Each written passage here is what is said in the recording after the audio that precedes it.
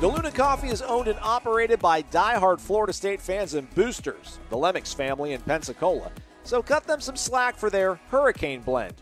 No green and orange, and it's definitely not all about some random letter in the alphabet. It simply is a blend for those of you who love that strong coffee flavor without bitterness. DeLuna has combined two different South American beans with a Hawaiian bean. In fact, the Hurricane blend has won as many ACC titles as the school in Coral Gables. Try it or one of their other two dozen blends and get a discount when you use the promo code WARCHANT15. Visit DeLunaCoffee.com and check out their Facebook and Instagram. From Tally to Cali, It's time to wake up. wake up, wake up.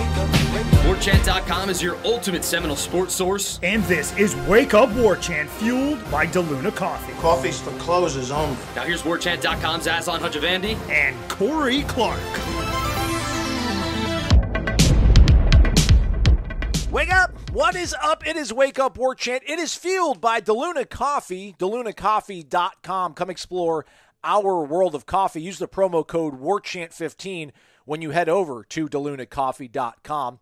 Pensacola Police Midnight Shift Coffee, folks. A unique blend. Five, count them, five different beans, each with its own distinct flavor that provide for a blend that gives that extra kick of caffeine when offering a rich, smooth flavor that imparts a character unlike any other. It's the midnight shift.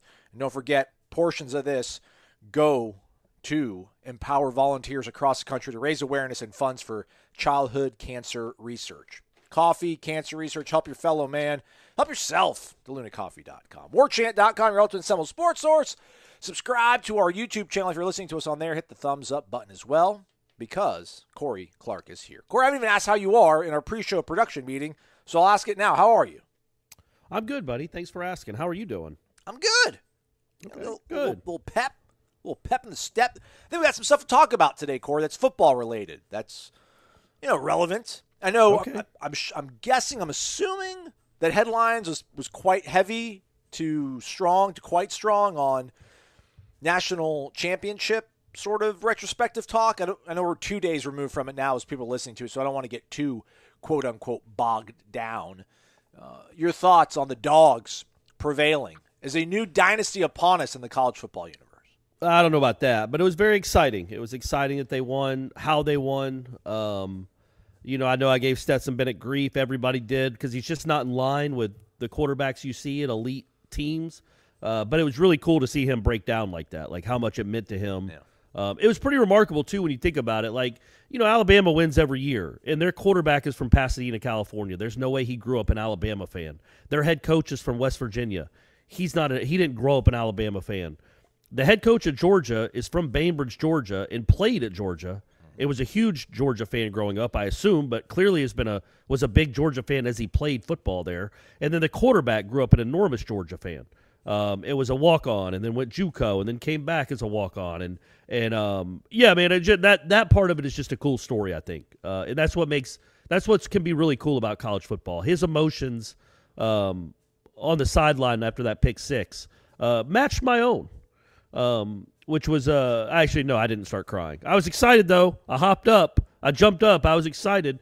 Uh, I kept, I yelled him, to, I yelled at him to keep running. Unlike Kirby, who was telling him to get down. Yeah, seriously. Which not with three timeouts, man, the game's not over. Nope, nope. Alabama had three timeouts. Get your butt in the end zone.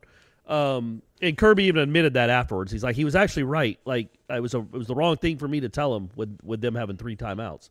Um, but yeah, man, that was that was cool, and it's really cool for you long suffering. I know they boast. I know they're very a boastful bunch for a program that hadn't won a national title in four decades, but that's a lot of long suffering Georgia fans that I'm friends with. Obviously, um, it was just a really cool night for them.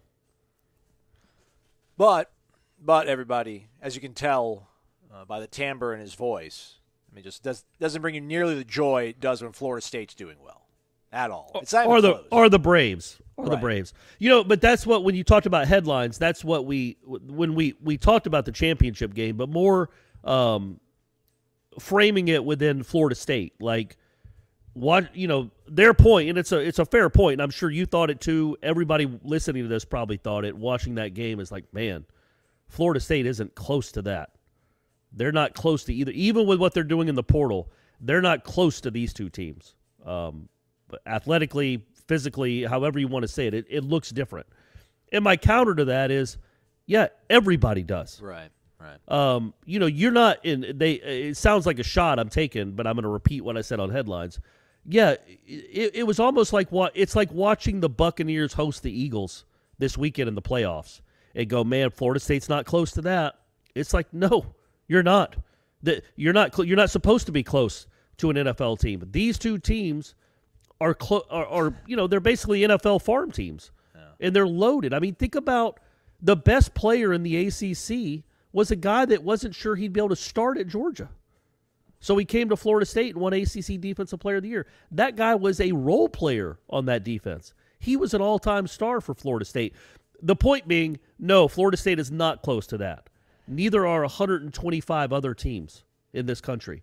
What Florida State's next goal has to be, and might be very soon, be close to the people that were playing in the Outback Bowl. Look like oh, that No. because you're not you're not far away from that, and that's the next step. Get to an Outback Bowl caliber, and then after that, get to a championship caliber. You don't go from five wins to championship caliber. There's some stops in the middle, and the first one is like you know get to a Gator Bowl. Look like those teams, and I don't think Florida State's that far from that. Yeah, they're far from Georgia. So's Michigan. You know, we saw that. You know, so but but would Florida State not belong on the field with Michigan? I think Florida State could hold its own with Michigan next season. I'm not saying they'd beat them. They wouldn't be favored to beat them, but Florida State wouldn't be blown off the field by Michigan. And Michigan was a playoff team.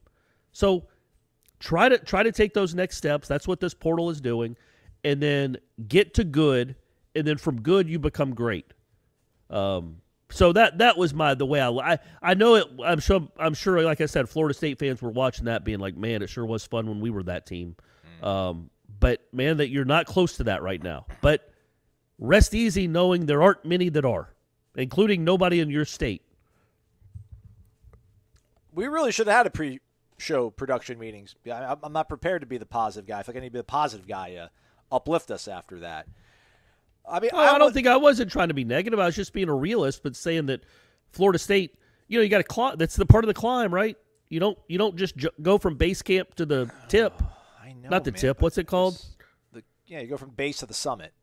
The peak, yeah, the peak, yeah, not the tip. I don't say that. Um, yeah, so you got you got to you got to start. You got to go to camp one and camp two, and then finally get yourself to the summit. That's what Florida State's doing. But it does it doesn't have to take ten years either. It's It just not going to be. it It's not going to be next year, because Right, right. you know, uh, you think about that Georgia defense. Nakobe Dean, man, third year in the system. Um, Tindall, Nolan Smith, Ringo, uh, I think is a sophomore, maybe. Um, Jonathan Davis, a fourth year senior. Jordan. Jalen Carter is third year. Like that's what the great programs do. Is they allow those guys to grow up. Like you know, Nolan, uh, uh, what's his name? Nakobe Dean wasn't like a star as a freshman. He played some, but he was like. Uh, But he was an absolute blue chip coming out of Oh no, that's what I'm saying. miss, That's that's know. the next step. If you get good, blue chip players will start coming to you. And you won't just always have to go to the portal. But the great programs develop from within and then sprinkle in the portal guys. Right now, Florida, Florida State's just having to do a lot of portal guys, uh, mainly portal guys for their starting 22. But, you know, if you keep winning and you become more enticing to these high school players, the five stars, the Nakobe Deans of the world, then you start build those are the building blocks by the time they're juniors, you might look like that. There's no you know, look, Florida State in 2010 was different than Florida State in 2013. It took a little time. So hopefully we're in the middle of a climb like that. Hopefully, hopefully. I mean, it's um, you know interesting. Like Georgia, what they play in the national title game in Kirby's second season. You know, Bama, I think wins the national title in, in their second season with Saban. Uh, you know, second season with Well, wouldn't you say the difference though is that Kirby wasn't winning with a bunch of freshmen. I mean, Richt Richt recruited pretty well. yeah. And yeah, this was not a good. This roster wasn't horrible, terrible. It was not good. Uh, so it was not. We were not left in the position to. We weren't at base. We weren't at camp five on the climb. I don't know how many camps there are, or whatever. But uh, I yes, think there's four, Aslan. I think there's four camps. Okay. Um, it- it's just it's all of it's just so hard to reconcile because I, I get it, man. Like I, I don't want to come here and, and you know tell everybody how far away we are. I mean, I didn't watch that game and think, oh boy, we are so far away from this. I thought both those teams, I guess maybe credit to their defenses, credit to the familiarity they have with each other. Um, you know, both struggle to move the ball. I mean, I guess you can credit that to the defense, but I Yeah. was thinking like, hey man, like you know, if you if you believe in this quarterback, which you do, your newly named quarterback coach comes right out and says it in his press conference that you know he is our quarterback. He's a stud. This kid can play quarterback, Jordan Travis. Mean, like if you believe in this guy, you believe in your offensive line coach because you promoted him and made him your offensive coordinator, and you brought in a guy that played in the in the Big Ten that's going to help you out in your offensive line. You're according to Michael Lance, you're still going to try to get some more help uh, there on the portal. I, I just this I'm trying to figure out this line that we're trying to walk here, and by the royal we that we we like all these kids that are coming in. We all everyone agrees that they're they're instant upgrades over all the guys that were on the team practically last season. Well, like if we believe in this guy, like I don't I don't I just don't know how you can square up like believing in Mike Norvell, believing that you're getting all these guys that are great in the portal, and still being like, all right, let's get seven wins next season. Again, and I'm not, and I know I'm going to keep talking about this, and I hope you guys don't get sick of this. I'm not trying to be like a, a jerk about it, but again, like if you believe in this guy and you think all these guys are these recruits that are coming in, these transfers are instant impact guys that are upgrades. Look at this conference. It's not a scary conference. ESPN's too early top 25, which is really just Mark Schlabach's. There's three ACC teams in the top 25. All three of them are coming to Tallahassee. He's got NC State eighth, NC State eighth, Clemson 11th, Wake Forest 14th. Man, you you hung with two of those three teams. Why can't you beat them at home with improved quarterback play, with improved wide receivers, with an improved linebacking core, with an older secondary, with this Jared Verse kid that might be every bit uh, as productive as as Kier, maybe close to what Jer- Jermaine did. You know, so that's the way I was looking at. it. I'm like, maybe we aren't so far away.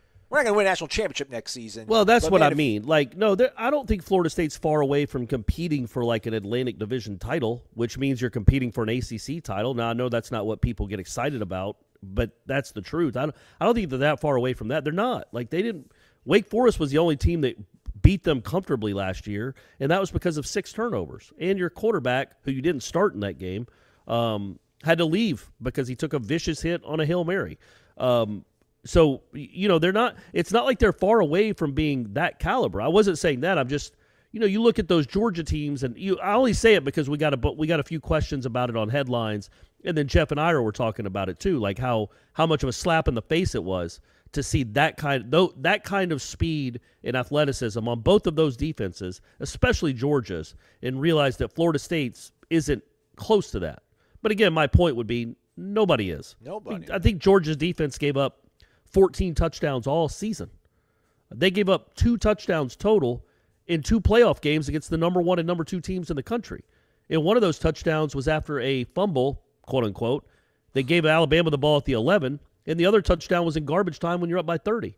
That's how good that defense was. But that's an all-time defense. That's maybe don't judge yourself on what that defense looked like because there aren't going to be many times you have a Nakobe Dean, a Nolan Smith, uh, a Jonathan Davis, a Jalen Carter, all on one team, all all at the same time. And those um, the DBs I thought played really well, they, including the kid, the five star that transferred from Clemson, um, Kendrick. So anyway, but yeah, I think I think seven to ten wins is reasonable, and depending on how it goes, you would say, okay, again, a building block. You're not going into 2022 thinking you're winning anything, but you can make another significant step.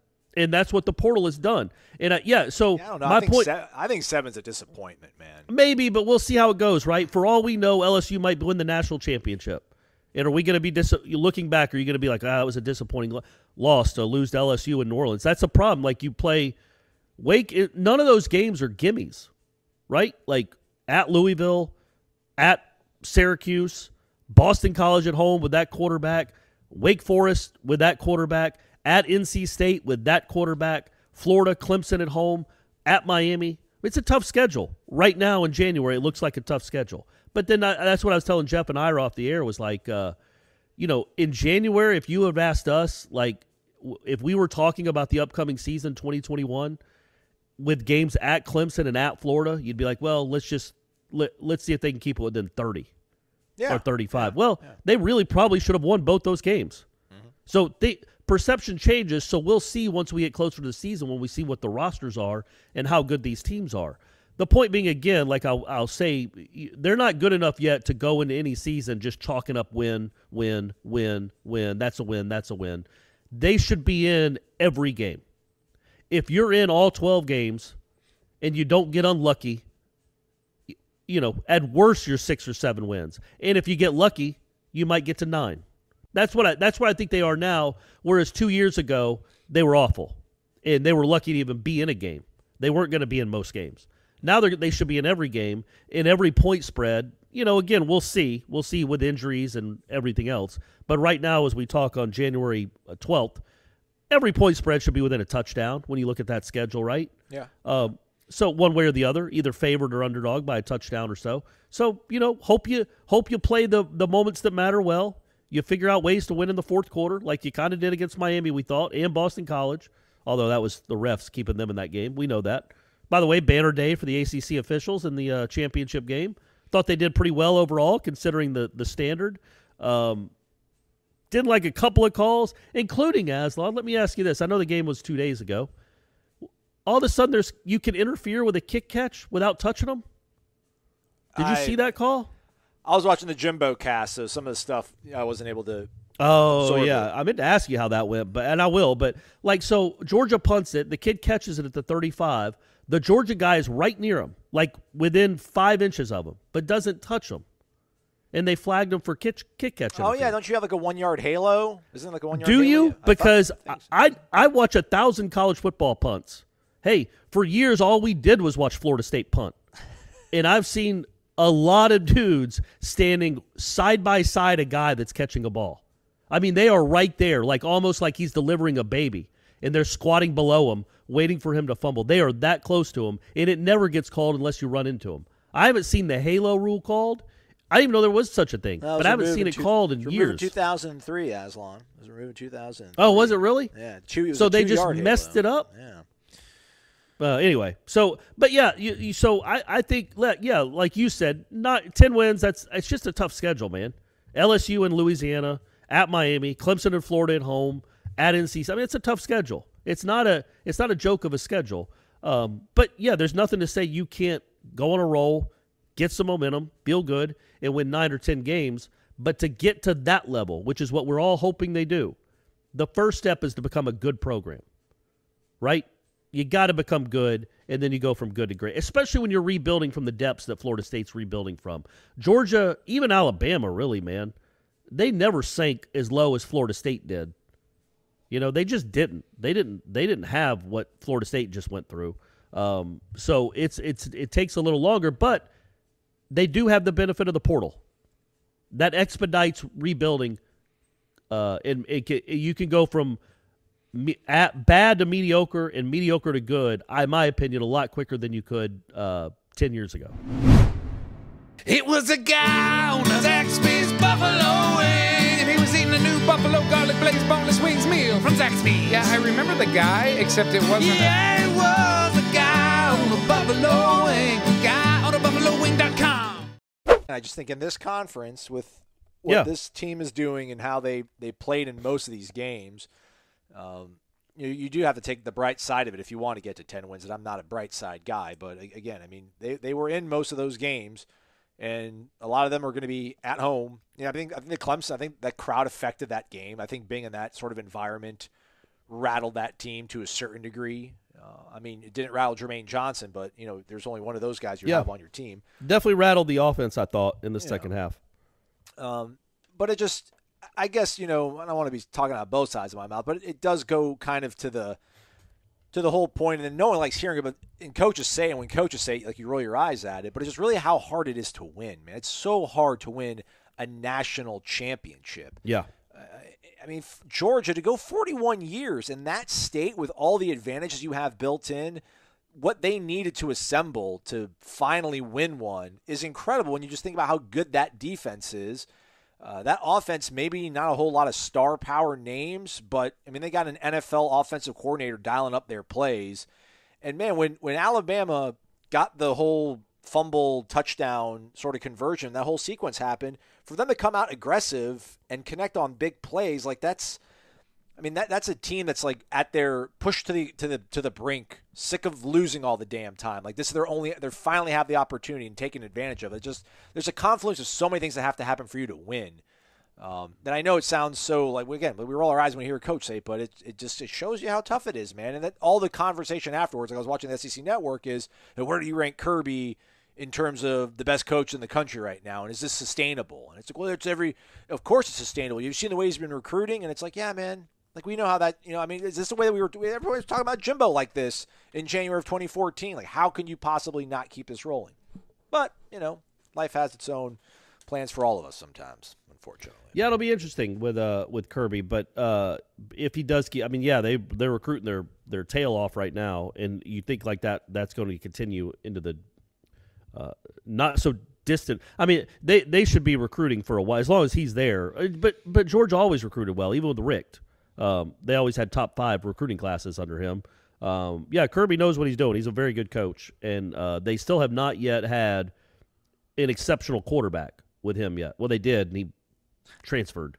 Um, they have not had an exceptional quarterback. If that happens, let's see. Remember, Alabama used to win with Coker and McElroy, and then they started getting, you know, they used to win with defense and a running game, and now they have, they just Well, just, NFL wide receivers just fall off trees. you can't even talk about them though. Alabama's just Yeah, that's so right, yeah. far flung of an anomaly that you just you can't compare yourself. you to. think about no. I, I agree so when you when you start talking about national championship teams and how hard it is to win a national title absolutely because if you take alabama out of the equation well who's won national titles recently um, auburn with an unbelievably all-time great quarterback with having one year and just putting a team on his back um, then you had what florida state with an unbelievable quarterback and an all-time team uh, Ohio State, that's the one that's kind of the anomaly. That was also a down Alabama team, I think.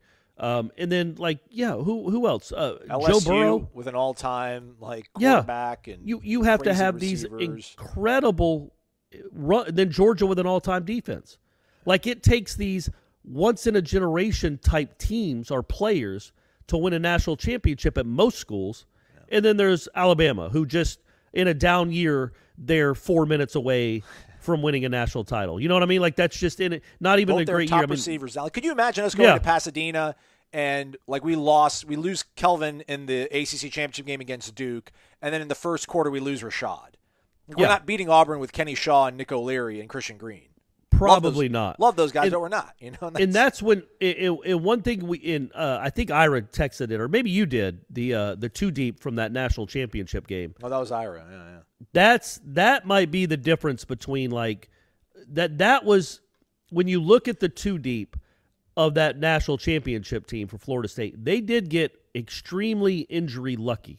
Yes. The offensive line stayed healthy the whole season. So did the entire defense except for Tyler Hunter. And when you lost Tyler Hunter, who you thought was your star, like not star player, but the position star, he was going to be a guy that was he was your fifth DB. I guess we'll have to play Jalen Ramsey now. but other than that, it wasn't like there was a ton of un, really young talent coming up behind. Like like now in hindsight, you know, they just weren't they weren't nearly as talented. You want me to in the- read it? You want me to read the two deep?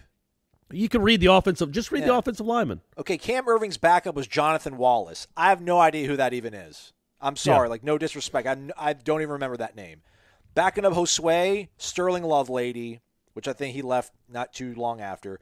Backing up Stork, we all know is Austin Barron. Things didn't work out all that well when he had to kind of step in uh, later on in his career. Backing up Trey Jackson, who got drafted by the Patriots. Ruben Carter. I don't think Ruben ever ended up doing anything in college much. And then Bobby Hart, who I think is still in the NFL somehow, who was like, Yeah. what, 17, 18 years old, playing in that bowl game against Notre Dame, was Jacob Fahrenkrug, Yeah. who we'd heard all these great things about playing JUCO football or whatever in North Dakota, who was like injury prone and nothing ever uh, amounted to him playing and contributing here at Florida State. Yeah. Not- so that's not a lot of that's depth. rough. Like Yes. it was a great starting 22 and a not very good at all backup 22. Um, but but yeah, I mean it's still hey they, they most of them came back and they they went and uh, almost won it again the next year even though it was a struggle. Uh, so yeah, I mean I you know we probably talked too much about Georgia and Alabama, but just framing it within Florida State. Yes. You know, I, I think I, I think when you look because we didn't get a chance to talk about the uh, the West Virginia kid, you now got four you, you didn't just get better at wide receiver. You are a different room now. Yes. You know what I mean? You've got guys like Mycah Pittman and Johnny Wilson have not really accomplished much in college, but neither had Jermaine Johnson until he got here. Now, I'm not saying these two guys are going to have that kind of impact on the offensive side of the ball, but we don't know. They're wild cards. They might. Some guys just blossom when they get to a new place and they get uh, maybe more of an opportunity. But it's an immediate upgrade at that wide receiver position, especially over what you had coming back. And then and then this kid, uh, Wright, right? Isn't that his name? Wright from West Virginia. Winston, right? Yes. correct. Winston Wright. Winston Wright. What a name, by the way. Um, he's got 120 catches the last two years. And he's got The- two returns, uh, kickoff return touchdowns. Yeah, man. So speed. He looks kind of like a slot guy. I don't know what they'll do with him, but he's a guy. I mean, 120 catches. I wonder how many of them went for first downs. 80. Is there another player on the Florida State team that's accomplished 80 first downs? Yeah. Like none of these receivers, especially the two, the, the ones not named Keyshawn and Pokey, combined, they probably haven't accomplished 15 first downs in their careers. This guy has 80 by himself. He's played in the Power Five in big games and big stadiums. Um, so uh, they they've just they've done such a good job in the portal of addressing their immediate needs, and it's it, it should make them. If we want to say they were a six win team, like you like you talk about, if they were a six win team with that receiving core, um, you know, you got to figure competent receiving um, and maybe better linebacker play. You hope with the kid from UCF and better offensive line play because you got a good guy from Wisconsin, you got another transfer, and all your guys are a year older and they're supposed to be a year better. All that should translate to uh, two more wins, right? At minimum, like at yeah. minimum, at minimum, and, and obviously you believe in this quarterback, and if this quarter, he's going to get better if he's as good as. I mean, if you're investing all this sort of equity in him, again, and I believe it. There's, I mean, it was above his pay grade to ask him that. I kind of really wish I would have been more involved in the conference call with Alex Atkins the other week, but. Uh, I mean, that didn't sound to me like they think that they have to go out and get somebody that's going to make a difference at quarterback. Like that, I mean, the way Tony Tokarz spoke about Jordan Travis was like, I mean, the baton has been handed off from the Kenny Dillingham fan club, you know, presidency has been, you know, the torch has been passed. So, yeah, I mean, if you believe in all these guys, I mean, certainly there's going to be huge, a huge runway for you to get much better, significantly better. And again, this conference, who knows? Although, I mean, I don't think you win this conference, you get into the playoff. I mean, Wake Forest proved that as much. Because they wait, or Pitt, no, Pete, Pitt beat him, right? Yeah, Pitt ended up in a New Year's Six bowl, but Yeah. not the. Uh, yeah, I mean that's playoff. look that is a possibility. You in a, it, I, And I'm not going to. sorry, not, and, and Clemson. This is Clemson. Something sneaky to watch too. We'll see if they can really kind of keep reloading here. I, I saw like, dude, uh, the quarterback Uiagalelei. He threw more picks than touchdowns. He had like nine Oh, touchdown passes yeah. and ten picks. He's bad. He's not. He's not good. And uh, I don't know that that roster is set up where it can survive another year of bad quarterback And play. they don't have any receivers. Like they're they Yeah. lost one of their dudes in the portal. Um, they haven't been all that flush with talent at that position either. Uh, well, well, he doesn't like hit. He doesn't like hitting the portal. Well- He's not a believer in the portal. So he, I'm sure he will change his tune very quickly now that reality slapped him in the face with a, you know, it's still a 10 win season, right? But it was 10 wins and seven of them could have been losses, which has not been the case at Clemson in a good long while. Um, so yeah, man, the the ACC is wide open. Florida State fans shouldn't shy away from expectations. Yes. Um, y- you know, nine, ten wins is doable. We just have to see what it looks like. We have to see. You know, we'll we'll have a better idea obviously in August. Um, and you got you got to hope you survive injuries. And look, man, I think you got to get better at running back. I think that you, you've still got some portal hits you got to get. Wide receivers done, right? Like there's there's nothing left there. You, hope you, so, You've yeah. taken four. Um, so you've completely reshaped that room. You need at least one more defensive lineman, maybe two. I think you need a running back. You might need a quarterback, uh, at least because we don't know what Rodemaker's going to do, and you don't want to go into a season with two quarterbacks, one of them being a true freshman, uh, because Jordan Travis will get banged up. I'm not saying he'll get hurt and he'll miss games or miss months, but there will be times where he'll have to, you know, maybe get have to miss a series or two. Um, and what are you going to throw out there right now? Who's what are your options there? So there's still some holes to fill, but man, you you've got to be excited as a Florida State fan. Other than you know losing the number one player in the country uh, to Jackson State, as I wrote about uh, the other day, you know you got Jammie Robinson came back. Uh, that's a big. That's like another, you know, another portal hit again. That because you were worried that he was leaving. He's back. You got nine guys in the portal. Probably six of them you think will probably start, which means they're upgrades over what you had coming back. Um, and then and then all your young guys should be getting better. And you have a quarterback you think is pretty good, unlike last year when you didn't know. So you you should feel you should feel confident that you can at least have a winning season. And then we'll see what it looks like in the middle of October to say if we're if we're chasing championships, baby. I love it. We had you almost on the 9-10 win train, and then you you're like, get a winning Yeah, season. man, I just ah so close. I had like so you're like dangling off the cliff. I had like one hand on you, know, like I reached to grab your other hand. And you it's like uh, they, if they got ten wins, if they got to ten wins, it would have to look like Clemson's ten win season. Yeah, think about have to be Clemson's gorgeous. wins. Just win some of these. No, games. I know, but like you, you think of number one, Clemson had a, a great defense, a championship caliber defense. Florida State, I don't think we'll have that. No. but you think about their wins, won't they be nearly as horrible. I mean, Clemson's No, you're right. I know. good. I got you. Hopefully, it, it, it counterbalances each other. But you know, Clemson beat Georgia Tech by five, beat Florida State on a with, with two minutes to go. Um, I I'm not I'm I'm I can't even remember all Boston their other College, games. they they should have lost to Boston College. I think Boston College. Uh, That's right. Boston College was driving and threw a pick. Uh, you know, they just it was that was really close to being a six loss Clemson team. Well, I think if Florida State gets to ten wins, it'll be similar. Like, and I'm talking about a bowl game too, folks. By the way, Right. Yeah, you know, 10 3 is fine. I'm fine with 10 yeah, but, but if you get if you get to ten wins, it'll have to be two or three like that Miami game from last year. You'll have to win some games where it was really close to losing. You're not going to just roll through eight of those wins. You're going to have to. You're going to. Your heart is going to be racing in the fourth quarter of half of your wins, okay. okay. like Alabama's. You know, Alabama had a lot of those wins this year. Touche. Uh, we are going to speak about basketball. We're tacking it on to the end of the program here, uh, but also do want to mention this reported by our own Gene Williams. Uh, people asking about, uh, you know, Ron Dugans last week on the Renegade Express. That contract of his is uh, set to expire later on this month. Uh, you know, according to Gene, doesn't sound likely that Dugans returns.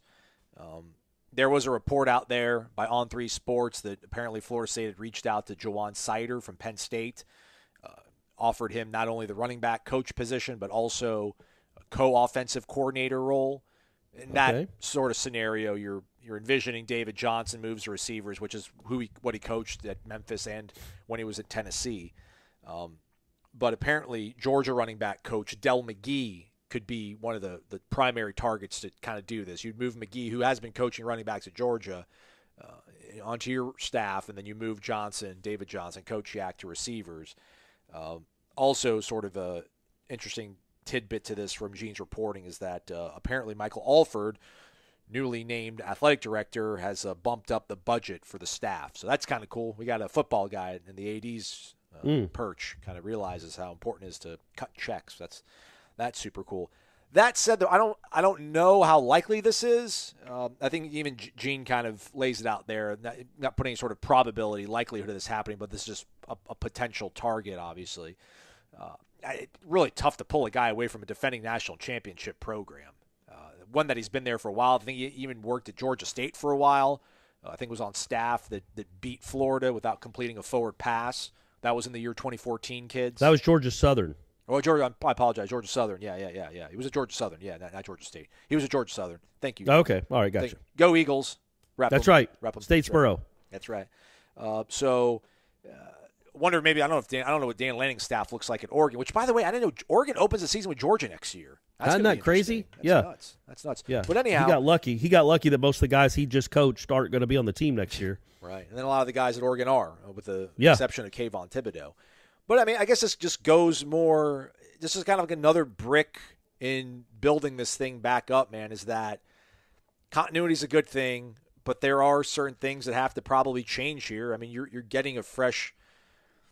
I don't know if say fresh voice with, with Alex Atkins, who's obviously involved in your game planning and such last year. But man, you're gonna, you're going to kind of dangle out the. I guess part of the lure of, of trying to bring Del McGee over from Georgia is offering him a co-offensive coordinator title. So I mean, you're getting creative. You're trying to figure out ways to get your staff better. You're getting the roster better. If you're getting this uh, this, this coaching staff better on the offense, I mean, the defense. We I think Randy Shannon's probably an upgrade over Chris Marve. I don't know how much, but I would say probably at least if you're going to be working in this state, again, just this more sort of evidence to getting it, understanding what needs to be done, and going after it. I mean, maybe Ron Dugans ends up staying, but if there's already been one report out there that they made a run at, you know, Penn State's running backs coach, and then Gene's heard this, uh, sounds like you know there's change afoot, change in the horizon. Well, yeah, all and they're- for. y- they have that coaches convention this week. Uh, is that in Indianapolis, by the way? Is that in Indiana? It, I don't know if it rotates. It's I know it was in Texas a few years ago, so I don't But know. I I'll thought it like does it not coincide with the championship game? that makes sense. That's what I was wondering because I know it does in basketball. I think they have the coaches convention at the Final San Four. Antonio, January Oh, 9th to 11th, so it's over All right. actually. So yeah, it's done now. Um, that's weird that they had they wouldn't be in the site of the championship game, but I guess they don't want you know distractions. But um, but yeah, man, look, as we've talked about a lot on this show, and everybody knows, you're not a running backs coach is a recruiter, a wide receivers coach is a recruiter, and I don't. I I promise you, Ron Dugans knows much more about the wide receiver position, how to play it at an elite level, or even a not elite level, just how to play the position. Um, you know how to run a post um, more than I do, a lot more than I do. Right? Can we agree on that, Aslan? I don't know, man. You, I mean, you, you understand. Look, I know some things. and, you know. But so. but yeah, so Ron Ron Dugans knows more about playing wide receiver than I do. A lot more. I would never come close. Well, guess what? Me and him signed the same amount of high school wide receivers this year. A big fat zero, which is what you got to do at that position. You have to bring in talent. Wide receiver, running back, those are the positions where you're not coaching them up for those yards. You're getting dudes. That's it. You go get dudes that can go make plays. You can tu- you can fine tune things, sure. You can turn a project guy into a guy that can run routes and knows how to block, sure. But your main job, your main focus is to recruit. And my man went over. So I get why Mike Norvell, after signing day, would have been like, "Man, we can't. This this ain't happening, man. This isn't. We're not getting five stars to even look at us. We finally got a couple that we thought we had, and nope, they're both going to the uh, FCS. Um, so is it the SWAC? yes, correct. Isn't that where they? Yeah, they're both in the SWAC. So um, yeah, man. Sorry, Ron. And and I'm not saying Ron should be fired. I'm not. I'm not advocating for his firing. I'm saying I understand it from Norvell's perspective. Is you've got to get some guys on this staff that can go recruit at a high level. As again, as we've talked about, Jimbo Fisher loaded his first staff with dudes who recruit, could recruit. He did not put James Coley on his staff because of his coaching acumen and his way to break down a game plan and break down film and look for schematic advantages. Same thing with Dameyune Craig. Those two do Eddie Gran. Those three guys were on the on the staff to recruit. And if Ron Dugans or whoever, Marve, whoever isn't getting the job done, you got to go look elsewhere because now you've got 2 years of evidence. It's not just COVID anymore. Where you can where you can say, well, it was COVID, it was weird, like you know, you had a, you had a normal year this year and you still brought in zero high school recruits. Now they made up for it in the portal, but was Ron Dugans a part of that? You know, or that was that more? You know, I, I don't know. So I, I wouldn't be stunned if that happened, um, because yeah, as Ira's has said, you know they haven't released that he he signed an extension. So if he hasn't signed an extension, then what? You know, why not? Why wouldn't they have released it if he's if they're if they're planning on keeping him and signing him to a contract extension? Why hasn't that been made public? So yeah, they might be might- they might be letting him go and then going to get a, another running backs coach. But whoever they're bringing in has to be an ace recruiter or kn- know a lot of people with money. That's hey, that's 2022, man. Have some connections with people with money. If And- you have somebody, if you know a hedge fund manager, please get into coaching. Uh, How Gene- great would be? I'm telling you, man. So the Falcons aren't going to be good for a couple years, and they're going to fire that head coach. Well, I think his name's Arthur Smith, the Falcons head coach. Correct. He's a billionaire. He is a Well, a legitimate billionaire. billionaire. Well, he is. He's got access to billions of dollars. His dad is the CEO and founder of FedEx. Fred Smith. Fred Smith, yeah. So this is his son. So wait for the Falcons to fire Arthur Smith and then go hire him, and he can pay for everyone himself. I bet he gets an allowance from his dad of $25 million a year, and he can spend half of that on his recruiting class. Oh, that's what that's the next step in the evolution of college football coaches is just go get rich kids. Go get rich kids. Go to country clubs. Go hang out with the hedge fund managers. Are these are these fancy resorts in Miami or Hawaii? And go just find a, a kid fresh out of college that has his degree. Ask him if he wants to be a coach. And there you go. All right, there we go. Got to figure it out. And if you're wondering if what this means for Odell, uh, Gene made a salient point in a reply on this thread, which is over at the warchant.com tribal council. You would have known about this hours ago, a whole day ago, if you were a subscriber. So I don't know what you guys are waiting on. Um, but Odell is kind of on the same timeline with him. I think they signed their extensions around the same time, possibly. So you wouldn't announce Odell so if someone's like, "Oh, does this mean Odell's not coming uh, back?" It's like, we haven't heard anything to makes us believe that's going to happen. So why would you announce Odell's extension and then not announce Dugans' extension? Like it'd be weird if you're like, "Ah, oh, we're bringing Odell back." Right. What, what about this? What about Dugans? Well, you know, just, you know, we're, we're working on that probably these things will coincide. Like they will they will announce likely, not likely, let's take it back, Aslan. If there is a change at that time, they will probably announce, hey, this is our new guy. It's going to be coaching running backs. Or maybe it's, maybe it ends up they keep Yak and they find somebody that can coach receivers. And then you also announce, and we're also retaining Odell Haggins uh, Rejoice. So this season, man, uh, our, our guy Jay again in Daytona Beach, like, oh, now you like the portal, huh, Aslan? Which, yeah, I mean, I'm coming around to it, I guess. Kind of have to. Can't. You can't better shake my fist at the cloud over it or whatever. Uh, but it just, man, there's the off season is going to be. We always joked about, you know, college football is 365 days a year, and it's like, well, not really. You know, I mean, you know, you got spring, and but the portal is constantly going to be part of our lives. Talking about this on the on this podcast every day and we got some coaching stuff too. So yeah, um, exciting, exciting times. Well, let's step away, make some money, and we'll come back and talk about Florida State Miami basketball. A little bit of an audible, a little bit of a fastball, curveball, whatever is your deceptive pitch. We've got five-star Ira Schoffel, who is uh, joining us uh, in his journey, sojourn back from the Tucker Center. Florida State, big time win, Ira, 65 to 64 over Miami all the all the Noles do now apparently is just beat teams that are undefeated in ACC play. Man, I'm all about it. I like it. Definitely a big week for the Noles, man. I don't I don't know how many people would have predicted this coming to this week. They just lost that Wake Forest team, is not not not great, and then they and they, the way they look, they got beat by 20 something, and then going up against, as you said, the two teams atop the conference standing, Louisville and Miami, and they knock them both off. This one was uh, a thriller, and and really, you could maybe make an argument they stole one. Miami led for over 32 minutes. Florida State only led for about five minutes, uh, but made enough plays down the stretch. And RaeQuan Evans hits the two big free throws. And hey, that's another huge win for FSU. Yeah, I mean, Florida State was able to go like on a on a good run there early in the first half to to kind of uh, get themselves back in the fight on this. Just what have we learned now from the team? I keep asking Corey about this every single podcast, but I know we're we're so sort of like anxious to see everything kind of start clicking. I mean, I don't know if, if a game like this is indicative of or indic- indicative rather of of that happening, but you know they they need somebody to kind of emerge. They need some of these older dudes to kind of start asserting themselves a little bit more. Anthony Polite a little bit more efficient from the field tonight, but uh, and Malik, uh, and then also obviously what Matthew Cleveland was able to do.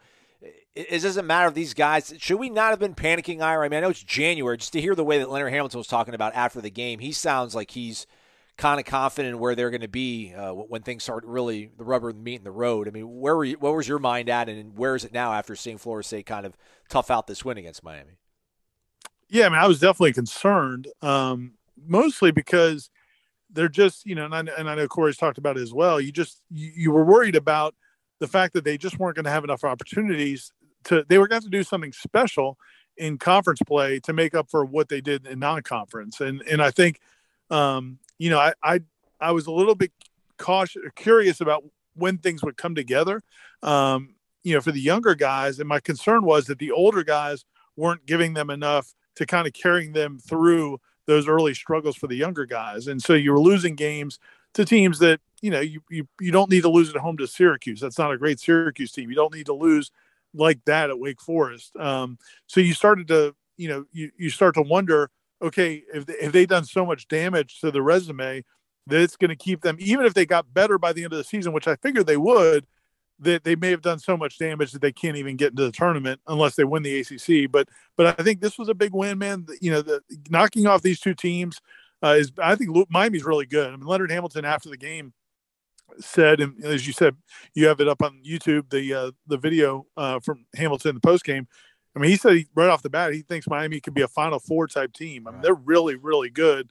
Um, so this is a win that's going to stand up. Now, it's at home, so you don't get as much credit for it and I, you know, I don't, I wouldn't expect they're going to beat them down there. But if they can, they they need, they do need to steal some wins on the road. They got Syracuse on the road this weekend. That's one. It would be huge to make up that loss that they had earlier.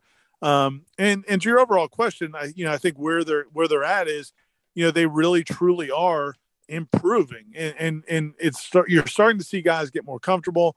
Um, I thought, you know, as you said, Matthew Cleveland's gotten to the point now where he's he's becoming a guy that you might be able to count on for 12, 15 points a night, uh, which is a big deal for a freshman. He finishes extremely well. Uh, he hit some big free throws tonight. The um, you know Malik Osborne's been banged up. He's got an ankle, so he hasn't been playing as great. And then Caleb Mills didn't give you much offensively tonight.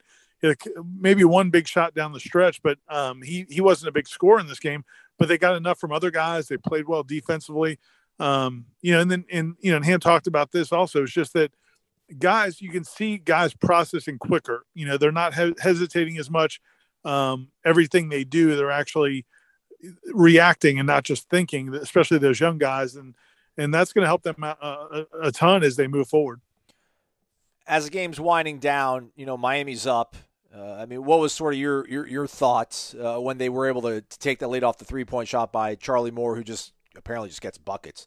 Uh, but but for RaeQuan to to be so assertive to get to the to the rim and draw the foul, um, I mean, is that kind of a, maybe a, a, flash point? We're hoping obviously a turning point, but is is that at least maybe just for RaeQuan individually, maybe a, a, a sort of situation we'll be able to kind of pinpoint of him maybe you know sort of uh, taking on a bigger line share of the responsibility, whether it's scoring points or just trying to try to lead this team, try to spark them. You only had his, you only had two free throws all night, and there were those last two shots that tied the game and then gave him the win. So it was definitely big for him, no question. Especially because he's you know he's just had a tough year. I mean, he lost his brother um, just over a month ago, um, you know, to cancer.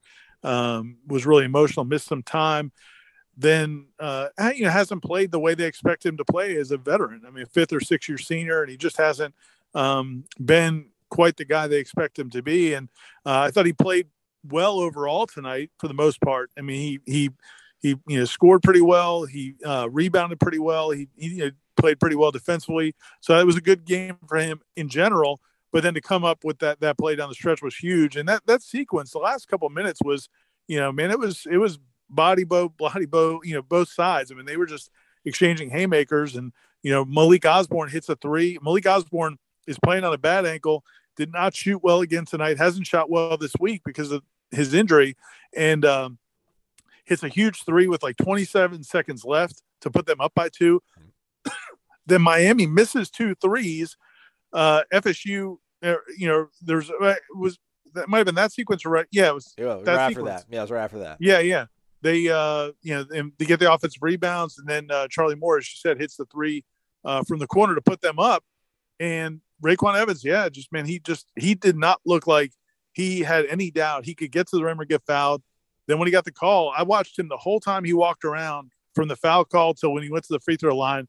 And you know, sometimes guys, sometimes guys look nervous. Sometimes they look like they're trying to be confident. Like you can see sometimes like field goal kickers, it looks like they're trying to act confident, even right. though you know they're right. not really confident. Yeah. Um, man, he looked like he was going to. I, will give him credit for it, but he did not look the least bit phased. Didn't look like he was trying to be overconfident. Just you know, just like he was doing two free throws in any situation, any game, and knocked them both down. He's a 71% free throw shooter, so it's not like he's an automatic guy. And uh, man, he didn't. I mean, he just knocked them both down and uh, gave them a huge win. Last thing, Ira, uh, Leonard Hamilton, check out the interview with him over on our YouTube page. Check out about the eight minute mark. Uh, that's like an all time ham riff. Him's talking about because there's like that funny sort of Florida State yeah. Twitter meme of all the different faces of Leonard Hamilton, but it's all the same, all the different emotions yeah. of Leonard Hamilton, but it's always the same face. Uh, it, it's kind of it's cool to see him uh, you know, we, we see it every now and then off camera or, you know, off the record when we're, you know, talking to him after interviews and stuff, at least when we used to be able to speak to him in person. Uh, but to hear him kind of joke about, you know, don't, don't, don't mistake my smile for me being happy. Sometimes I might be pissed off, but like, what can I do? I can't yell at refs when I'm not getting calls. Just good to see Yeah. him kind of uh, warming up to, to this season. It's been up and down for him, so uh, glad glad he's been able to make a, a good joke out of it. Yeah, it was a funny moment. One of the it was a young reporter, I think a guy from the FSU maybe, who asked him if uh, he you know he mentioned him smiling on the sideline. I guess TV caught him smiling a few times on the sideline, and he was like, "Looked like you were enjoying the game." And and uh, and Leonard's like, uh, "Yeah, sometimes I I have to smile to keep from yelling at a ref, or you know I, I don't want to get in trouble, so sometimes I'll just smile." And it was uh there were some curious calls, man. And again, not to you know, it wasn't necessarily to blame it on fishing, but there were a few curious calls by one referee in particular where it just seemed like every close call seemed to go Miami's way from this one referee in particular. Well, guess who's the guy that makes the call on the last? Um, so that was kind of cool, you know, because you get it in your mind that oh, that guy's out to get you. Well, he's the guy that made the call uh, to send RaeQuan Evans to the line for the last shot. But um, yeah, yeah, it was it, the whole thing was pretty funny, and and I, you know, I'll give you got to give Ha- Hamilton credit and this and the staff credit because this is a challenging situation. You know, you have you know six, or seven first year guys. You have some veterans who have not played as well as you hoped they were going to play. And then you've got the you know the COVID situation. You know, missing so much practice time, uh, having some you know disappointing losses early in the year. Now to have this week, uh, it's it's really good for them, and it gives them a chance now. You know, they it, this this win to me gives them a chance now to put them in a position where if they can steal a couple games on the road, maybe that gets you back to where you need to be for the tournament. If they had lost this game because you don't think you're probably not going to beat Miami down there, uh, that would have cost you a really quality win. And then uh, you know, you, again, you're you're you're going to have to you're going to have to win some games on the road. But I think the ACC is so wide open that you know after this last week, I feel like their chances have improved dramatically from where I thought they were, you know, just a week ago. Absolutely. Florida State 65 64 win over Miami. Ira was in the house at the Tucker Center. We appreciate him uh, taking some time out. Real quick, Ira, uh, 10 wins. Are you on the 10 win bus with me for the football team? Can you, can you, can you, you with me I am that? not putting down the gauntlet on 10 wins, Come on. man. Come on. It's man. uh I think they can get to 10 wins. All right. I think they can I think they can get to 10 wins, Okay. but I'm not uh, I'm not declaring it. Okay. Fair enough. Fair enough. Uh, we appreciate it, Ira. Thank you, man. All right, see you man. For Ira and Corey, I'm Aslan. Thank you so much for listening to Wake Up Warchant, fueled by DeLuna Coffee. Come explore our world of coffee. DeLuna Coffee features over two dozen different blends. DeLuna's unique roasts can be delivered ground finely for drip coffee makers, coarse for the craft crowd, untouched as a whole bean, or even in convenient K cups. Founded in 2014 by the Lemmix family, Ed and Brett are FSU alums and boosters who are extending a special offer to all listeners. Use the promo code WARCHANT15 for a 15% discount. Visit DeLunaCoffee.com and check out their Facebook and Instagram.